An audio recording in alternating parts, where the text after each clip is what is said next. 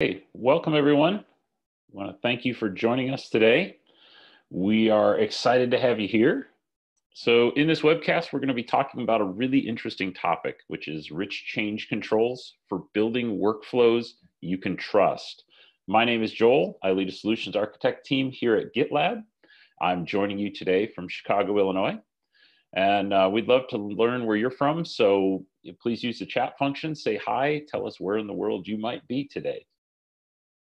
Before we get started, a couple quick housekeeping items. Feel free to ask questions throughout the presentation. You can use the Q&A function at the bottom of your screen for that. We're going to have a dedicated time for questions and answers at the end of the webcast, but you can go ahead and send your questions as you think of them throughout. Uh, we'll be sure to get to those near the end of our time together. If you're experiencing any technical difficulties, you can use the chat function to get in touch with me, the moderator, for assistance.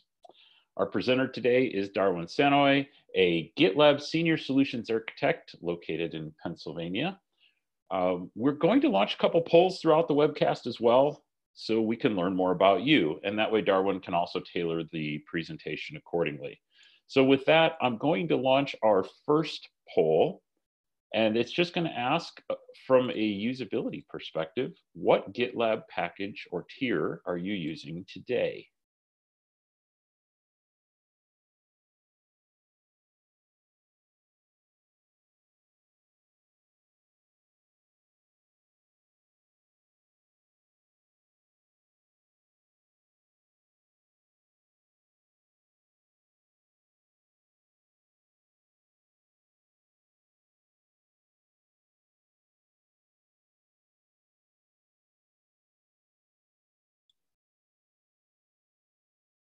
Okay, great. I'm gonna share this out to you so you can kind of see we've got a pretty even breakdown today across each of the tiers.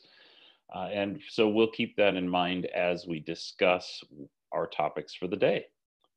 So at this point, thank you for your participation. Thank you for joining us. And I'm going to turn this over to Darwin. Good morning and afternoon, everyone. Uh, my name is Darwin Sanoy, Senior Solutions Architect at GitLab. Uh, it is my job and also my pleasure to help customers understand how to apply the GitLab tool set to uh, various DevOps problems uh, for a whole variety of customer profiles. I really enjoy automation a lot, and so it's been a great, op great opportunity as well as a great pleasure to uh, help customers with that. So today what we want to talk about is how GitLab has rich workflow that can really help you uh, control and manage your change management uh, activities. Uh, typically, GitLab and other Git collaborative systems are thought of as working with code collaboration, making sure code is good quality before it goes out. But GitLab also introduces operations as part of the mix, so it supports deployment. So a lot of these controls are also very necessary for reliable releases to production. And so that's why it's important that you kind of understand the GitLab controls that are available. The other thing you'll notice is they're kind of sprinkled all throughout the product. And so we hope to try to give you kind of a global view of where these controls can be used, where they're kind of sometimes uh, seemingly hidden behind a, a, you know, a little piece over here, a little piece over there. Um, so we hope to put this kind of a global picture together for you.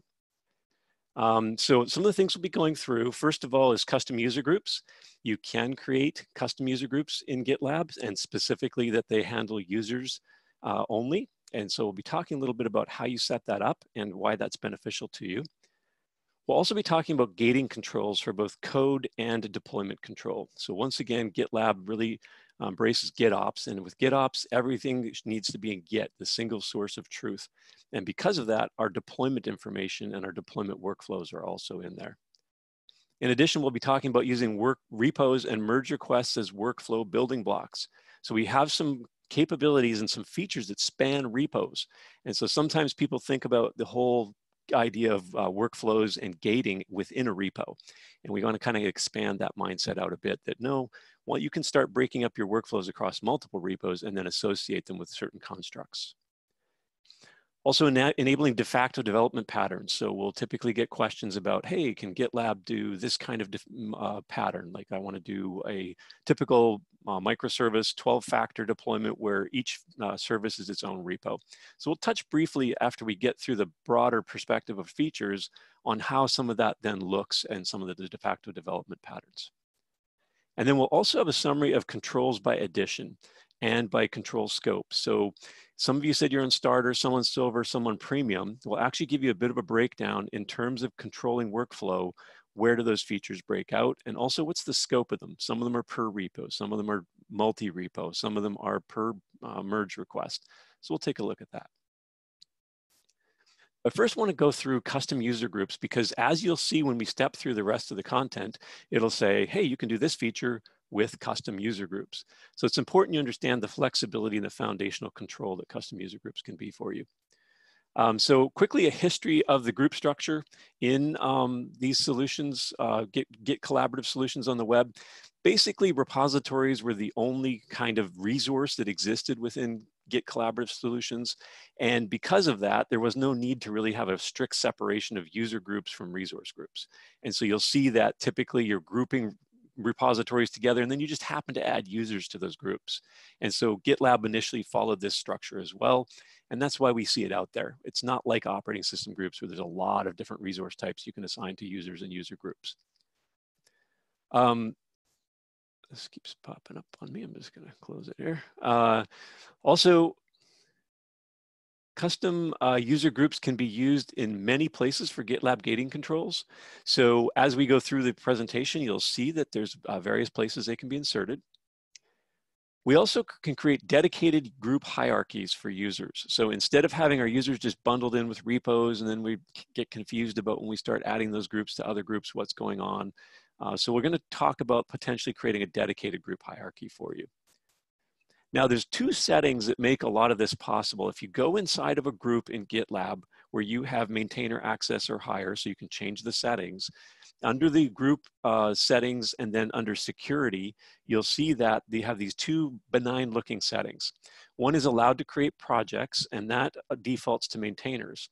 So if we set this to no one, no one can create any repositories in that group. And then another one is allowed to create subgroups. And this is generally defaults to maintainers as well. So if we set that to owners only, we can create a situation where we can add users to groups and we can even add maintainers to those groups and they can't create any repositories or any subgroups. So we effectively limit the capability for them to manipulate this hierarchy. Uh, you can also delegate group membership management. So if you make someone a maintainer over a group, then they can add and remove users. And so that can be helpful. If you have enough trust and enough communication in your organization, you could also let maintainers add and remove subgroups. Um, it's just important to understand uh, how group flow works, which we'll, we'll talk about here. One interesting question we've had is, hey, well, you know, I created a group and I put users in it as developers, and I want to add that group to a repository. Will they be developers in the repository? And the answer is no. So once you create a group with a bunch of users with roles in it, when you add that group to a new location in the system, such as another group or a gating control, they get the assignment of whatever you give it to them in the target new system. So if I add a group called uh, prod approvers and everyone in there is a uh, developer, but I add them to a new repo as a reporter, then they're only gonna have reporter in that new repo. Um, so just be aware that the original assignment to the group of the user does not flow through to sub-assignments. And then group, group um, membership inherits down in Git collaborative systems, including GitLab. So when you add users to higher groups, they automatically get inherited to all subgroups. So this is the one foundational difference from operating system groups that can make it a little more challenging to think about when you manage. So let's take a look at a couple possible uh, structures. This structure is one that you'd probably typically go to if you're used to doing operating system groups. So you're like, okay, I'm going to create a hierarchy that helps me organize groups so that they don't get too, too broad or deep or it's not completely flat. Uh, one helper that I try to use is a description, no users in this group. That description helps people because it both states that there are no users in this group and states that you should not add users to this group. So hopefully as people use the system to either add groups to something or to try to add users to groups, they can see that statement. However, it's just a kind of a process control or an informational control. So what you should really understand is you should never be adding users to a group that's not a leaf group. So in the case of this hierarchy, the end nodes of the groups is where we would add people and not to higher levels or if you add them to higher levels, you have to just really be aware that um, you're adding them to every subgroup. So in this case, the SREs group, we see that we try to add all SREs to a subgroup, and then production approvers is a special subgroup, but we would never add anyone to the SREs level. A, a better model, if you can afford it, if it doesn't create 1 million groups for you in a flat hierarchy, is to just leave the hierarchy flat. And then this way you don't have to communicate that because there's no way to add people to a higher level group that matters other than the root group of all users. And so this one here, you can see by naming convention, we kind of imply the hierarchy we're after. Um, do note that in both cases, we've created a root group in our system that is where all users will be added. Um, that is just a construct to help us think about it. Uh, in theory, you could add these groups and make them user-only groups anywhere in your system. So you don't have to create a dedicated hierarchy. Please note prod approvers sprinkle out throughout both of these. Um, if you have the premium product level and you have merge approval rules, which we'll talk about, you can pick, hey, I want two approvers from security, one approver from QA, and three from the specific application developers. So you can actually pick, pick specific approvers for specific groups. And also that prod approvers group is emphasizing that this would be a deployment group, so deploying to prod versus collaborating on code. Um, so that's kind of some of the gating controls um, as far as what we can do with custom groups and how we might configure them. So as we go through, bear in mind that all the flexibility we've talked about in this slide applies anywhere where you see custom groups in the subsequent slides. So we're going to try to build up the concept of the gating controls in um, GitLab.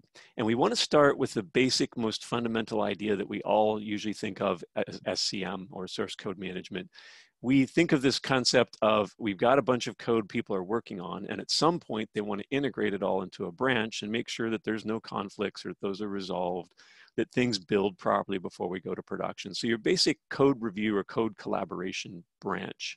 And so that's the construct I have here on the screen. Now, next thing is, once again, keep in mind custom groups throughout. And then the first thing we want to cover as a possible control is push rules. Push rules aren't strictly a merge control. They're actually in a way like a firewall for your repository. They basically prevent commits from getting into our repository in the first place. A good example is uh, user credentials that are committed to code. If you commit code uh, credentials to code and push it to your central repo, you could flag it in CI and say, whoa, hey, you got some Amazon credentials here. But getting those back out reliably is not very fun. It, it's hard and it also requires an ill-advised forced right of a branch to overwrite history. And so because of that, it's just better not to ever let them into the central repo. And so push rules are a way of doing this and they provide kind of some firewalling. Now at the premium level, Starter allows you to have push rules in the first place. And one of the, actually one of the push rules you can enable is to prevent credentials from getting committed and there's a bunch of others and you can make uh, some custom ones. But at the premium level, we add two new ones that are very interesting. One is verified committers. Verified committers says, hey, if you're pushing this branch or this, these commits to the repo, I wanna know that the user ID you're using to log into GitLab is the same one you've identified inside of your commits. Because in theory, I could put any kind of identification into my commits and then push the code. The second one is rejecting unsigned commits or requiring signed commits.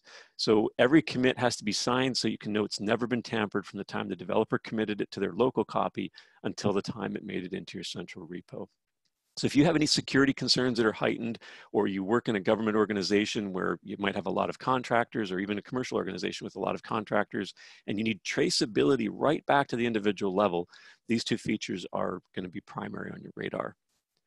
Another feature that's added with Premium is locked files and directories. And you can think of this as a kind of a semaphore for a file in a repository. So you can put an indicator saying, this file or directory, I'm working on it. No one else should be able to commit any commits to any branch anywhere that have to do with these files. Just block them because we need to work on it. It's really critical file for the next week or day or whatever. And so that's another feature that uh, helps with advanced scenarios where certain specific files and directories need to be highly managed. So let's talk about now our standard workflow would be developers are working on their feature builds and our feature uh, branches, and they're going to be bringing new code into the repository. Now, when they do this, they do this in a feature branch, and there could be many of these coming inbound at once. They have to make it through our push rules and our uh, pre-commit hooks. Uh, technically, I think locked files is a pre-commit hook. Um, and so once it makes it through that, then we have a new feature build. Now, one of the really cool things about GitLab, even at the free level, is that you get enterprise capable production ready CI for free.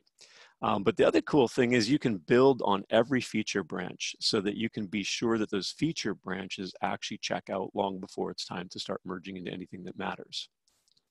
An additional gating control that exists just within CI is a job that is uh, set to when manual, and basically it pauses the whole CI chain until someone comes and presses play or until you call an API to restart that stage.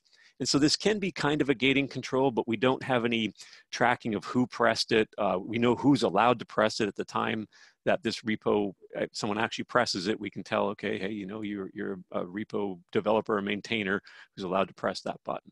Um, but that's one kind of gating control that you, you will see used in some of the GitLab uh, flows. We then have re review apps, and of course, Kubernetes is really slick in this regard to set up a review app for every branch build. However, we also can do dynamic review apps for web server based builds. So Nginx or other web servers, if you configure the, the web server correctly, then you can push a dynamic review app out. Um, and those are also dynamic review apps is what gives us some of our security scanning capabilities for, for DAST, DAST scanning uh, of an existing app in its uh, final target environment. Um, so that's capable all through all of branch builds. And one other thing we'll just give a tip of the hat to is uh, if you do Ultimate or Gold, you have a security and compliance scanning dashboard that can then be referenced and find out are new vulnerabilities coming to the software? Do we need to create issues for new vulnerabilities so that developers have to resolve them? And we'll touch on it a little bit later, but in Ultimate, you can also uh, globally across your entire instance block um, or require security approval for anything that introduces a vulnerability that hasn't been previously reviewed. And so those are some of the ultimate features that are kind of uh, slick in this area. So let's talk now about merging. So a lot of the controls are going to be around the merge uh, time frame because a merge time frame is when we start getting people to come in, collaborate, sign off. And so this is a big point of uh, workflow control. So at the repo level, we have merge approvals that we set up and they apply to all branches in the repository. Um, we also at the starter level have uh, merge approvals just for, you can pick a group, a set of groups and users and roles in the repository and then set a total number of approvers. So you can say include the security group, include this group and include any developer in the repo and I need five approvals. But you cannot distinguish how many approvals from any given subgroup, but you can at least start gaining some control that approvals are required. You can also protect uh, custom uh, tags. So you can uh, protect tags that are, if a certain commit is tagged, then it requires, um, uh, it can be protected and only certain people in certain groups or certain individual users are allowed to actually approve those uh, in the merge approval phase. Um, then in premium, we add custom uh, multiple merge approval rules. So you have one merge approval rule when you have a starter. Multiple merge approval rules means now I can create granularity and I can say, I want one from security, I want one from SREs, and I want three from developers. And so you can really get granular on exactly what subgroups are required and what uh, exact approvers are required within that. Um, so this is where you can really start to get your hands around some, some interesting control configurations. Next comes branch protections. And branch protections are per branch, so they have a little bit different granularity. Instead of being per repo, they're per branch.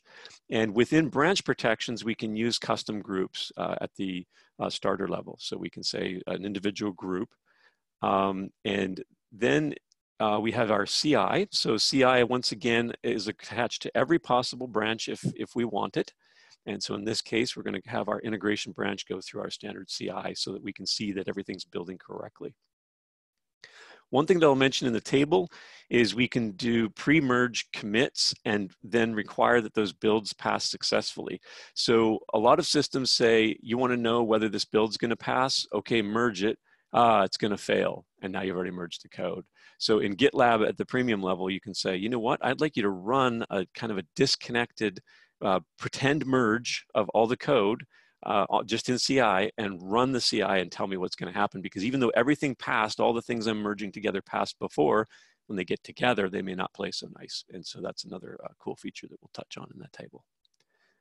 The other interesting thing now that we add with Premium is protected environments with custom groups. And so whether you're doing web or Kubernetes environments, you can say only certain users are allowed to deploy this code to production. And that's really a part of the CI phase. And we'll talk about how one way to configure this is to have a code base that goes through a build, and then you redeploy only the deploy phase to 10, 15, 20 environments if you want. So the, those custom uh, approvals or those protected environments are important to make sure that not just anyone can push to any environment. So this is basically our whole code cycle that we'd be used to as kind of a standard CI process. But now we can also add in branches that are purposed just for deployment. And so when we add in these additional environment deployment environment uh, branches, we get all these controls applied also to these branches. And so you can see here by virtue of the big long uh, merge approvals gate, it covers all branches in the repository. And so sometimes that's a benefit and sometimes it may not be. You may not want it that way and have to separate things into separate repositories. But if it's acceptable that merge approvals for deploy branches are the same as code reviews, then in the same repo, they would all be affected by those merge approval rules. However, the branch protections, of course, are at the branch level, so we can be more um, distinguished about what is allowed at that level. So we could potentially have less tight merge approvals, and then as we work our way through branch merges, uh, we have uh, more and more tight rules.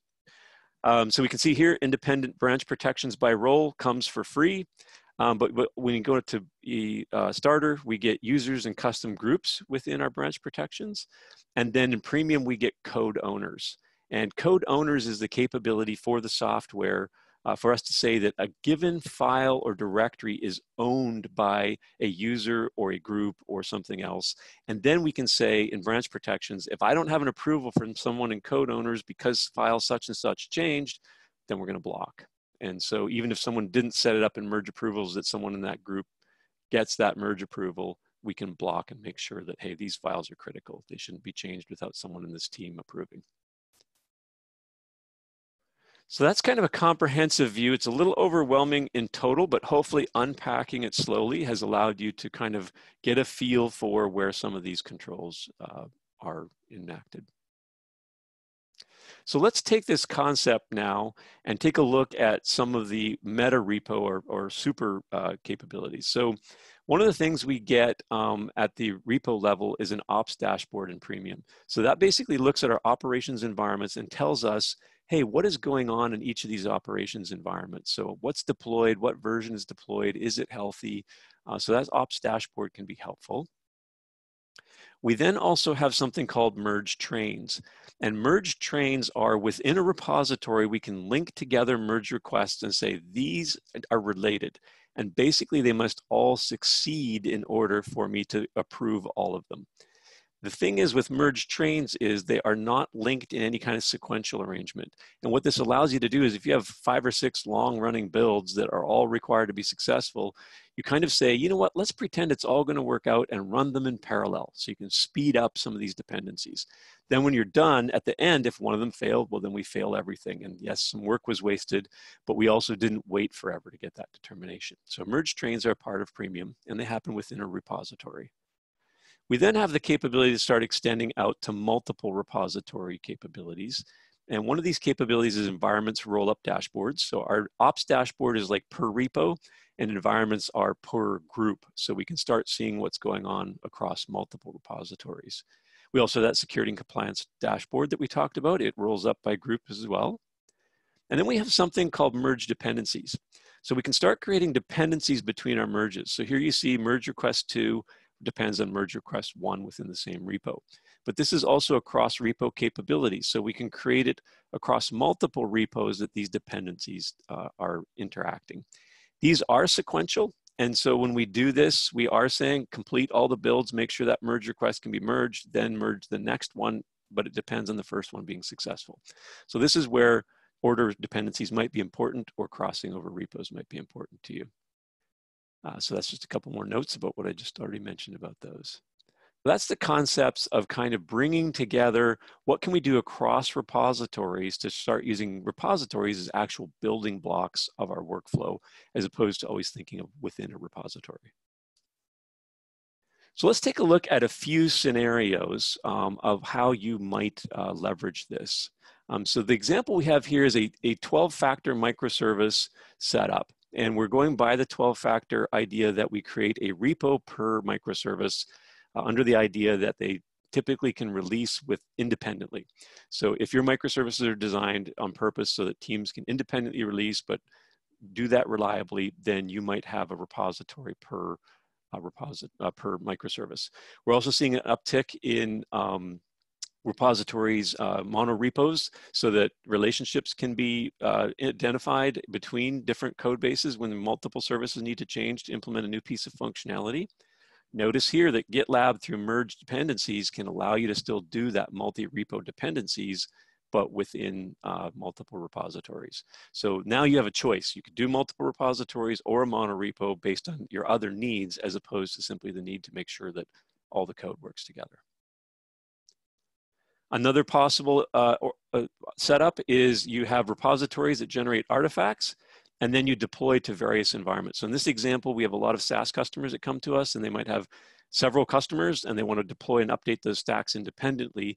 We don't have to link all of those customers into the same repository that's building the code. We can use the concept of artifacts to then create deployment only repositories. In this case, we have three environments per stack or per customer. You could even have one per stack or customer if you've pre-qualified stuff before it, it starts going out to customers. Uh, another possible workflow is um, doing advanced or doing multiple environments through just CD push. So here we see the common flow that we already talked about.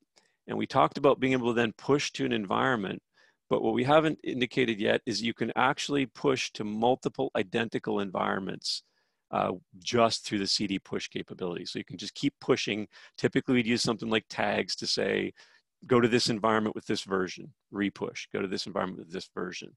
It's, it can be powerful that way. And sometimes this is more what people think of as CD automation.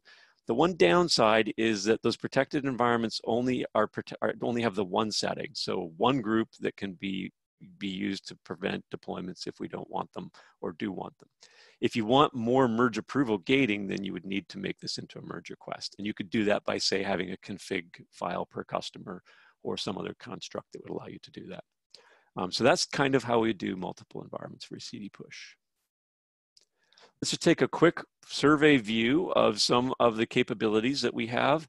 We didn't mention some of these in specific because there's a lot of things to make it through, but um, we did mention the when manual jobs. That's the little play pause switch.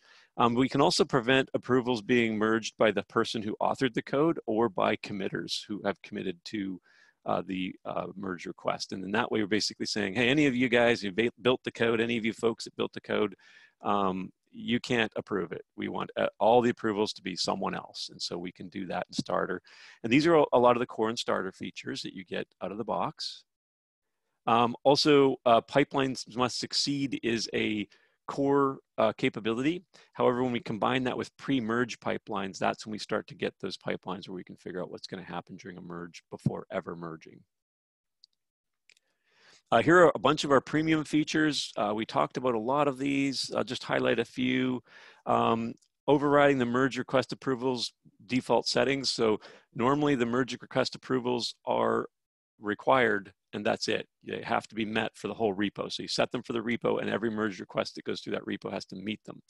What we can start to do, if we can trust those building the merge requests, we can go ahead and say, let those be defaults and they can change them. So they can change, maybe we only need one from security or none from security because we're doing doc updates. Um, so you can turn those into defaults instead of requirements.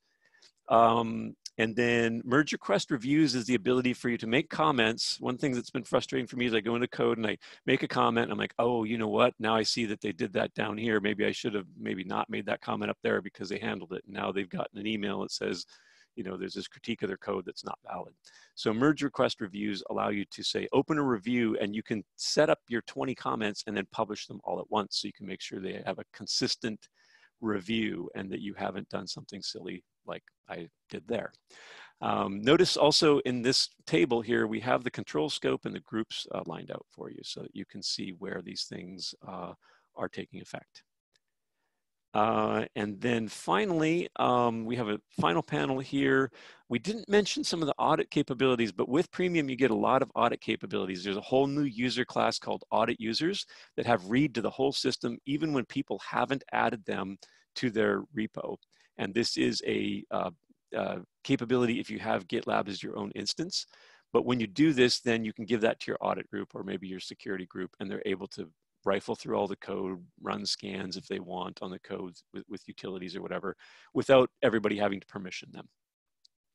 Um, also audit events, so you're able to see in the graphical user interface what has been going on in the repo, mainly people changing permissions and settings. So even those who have the ability to change permissions and settings are not doing that in a way that can't be seen.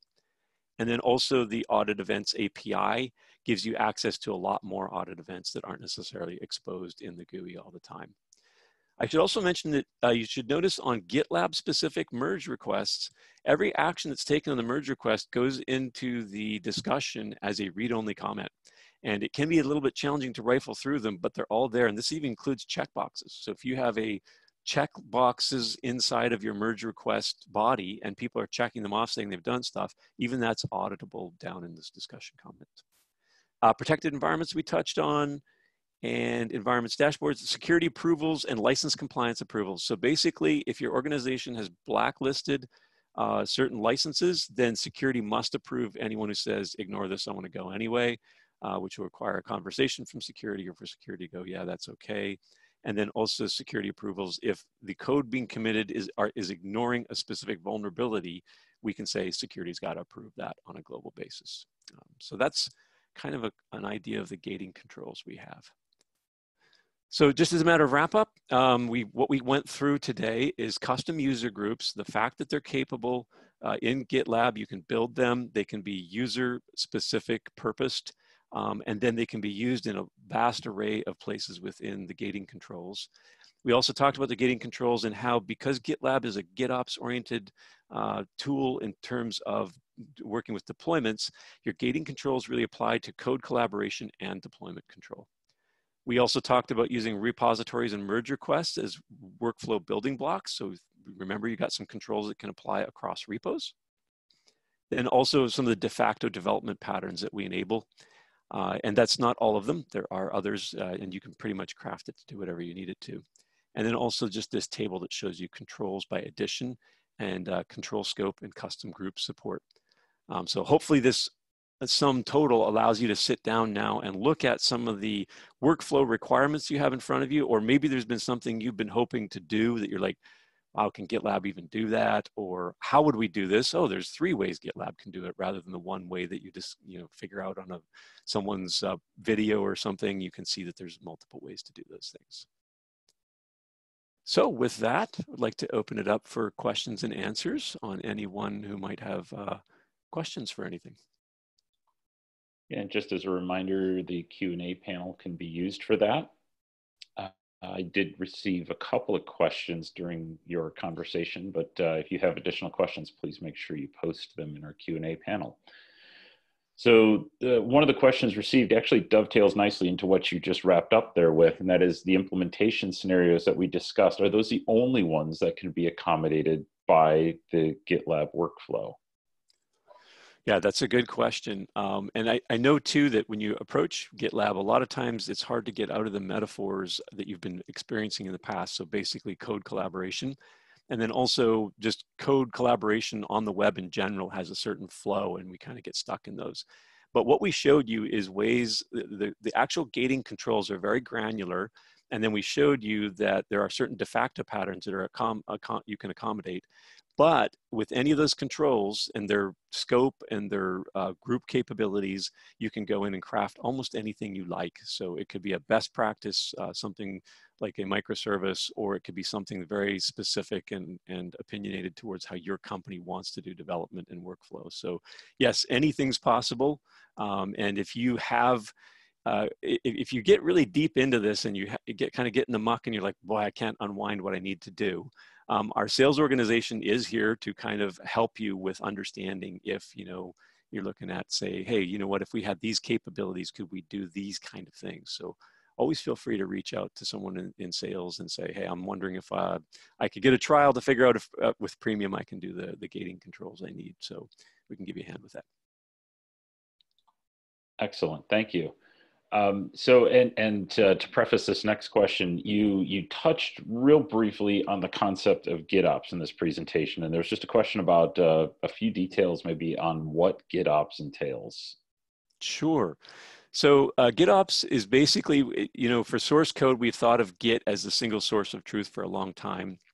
GitOps says, let's extend that to the full DevOps cycle. So um, Git and source control and everything, we kind of think of, we build our code, we have artifacts, now it's time for deployment.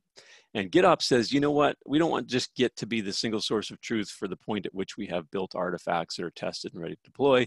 We want to be the single source of truth all the way through to production deployment. And so because of that, we start to roll in deployments, deployment support, some monitoring support, and we start to make Git more central to all of that. And so with the possible exception of secrets, which we can work in at a dynamic time in order for them to be stored uh, appropriately, we try to get everything else into Git. Uh, and by doing that, uh, you can see in GitLab, we've implemented a lot of the merge controls to allow you to then use them to also control uh, deployment. But GitOps is basically the idea that everything, including the entire DevOps cycle, should be as much as you know possible pushed into Git as a single source of truth. Excellent. Thank you. Uh, one other question here. So you mentioned code review and uh, talked a little bit about comments and batching and things. Do you have any examples of what that might look like, like in GitLab? Uh, yes, I think we do. We have a merge request um, view that we want to show you here. Uh, so this is an existing uh, merge request. And the merge request ends up, Git ops says Git is a single source of truth with um, GitLab. The merge request is going to be your richest single source of truth as to what ought to be done in terms of code collaboration as well as environment uh, deployments. Um, so you can see here uh, as we move through a merge request, we have a lot of the status information from build, from approvers. Uh, you can see here that we have a pipeline that's passed with many phases. If we want to, we can dig into this pipeline and see actual logs for each phase. Uh, we can see what results have come back. Uh, we can see that uh, we have certain approvals that are required uh, and view the eligible approvers within that. Then if we have uh, ultimate in this case, we have security scanning and license compliance scanning coming in. Uh, there are, in these cases, uh, complete panels that allow a separate view of the individual breakdown. So some of the build feedback will come back as uh, just text information, but in some of the cases we have panels built around it. So we can start to look through here, take actions, we can dismiss certain vulnerabilities, a really cool thing here is anyone can go ahead who has access to the repo and create a new issue saying, I need to investigate this uh, particular vulnerability and resolve it before we move forward. Um, we also have the license panel, which is also linked in the merge request. So we can start seeing that, hey, these are the licenses that are here. It'll call out new licenses or blacklisted licenses so that we can manage that. And as we move down our merge request, you can see here's the audit uh, some of the audit comments that I mentioned. So these can't be edited. So as certain things happen, we have a, a, audit log going on throughout the merge request so we can see what happened when. And then this is an example of a question or a comment that someone's made that is a review request. So it's basically requiring people to make sure that they, you know, someone says, hey, you know what, uh, there's a problem with this code, or I think it should be done a different way. And so these can also block the merging. Uh, so it's actually a, starter capability to say all discussions must be resolved, and that includes review discussions. So we can basically say, hey, if someone has an exception with the code, we're not moving forward until it's resolved. And uh, so that's kind of the global view of the merge request and how you can uh, get in front of some of this stuff.